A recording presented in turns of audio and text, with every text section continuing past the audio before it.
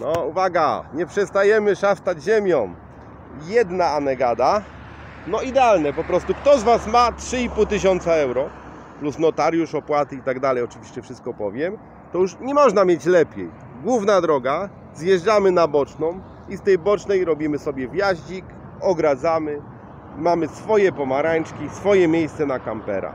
3,5 tysiąca euro. Czas start, czekam na telefony i na liczne maile. Sam rozważam kupno takiego jednego. Na pewno budować można tylko tak zwane Casa de Peros, czyli taki malutki domeczek 15 metrów kwadratowych. I to można zrobić. Pozdrawiam.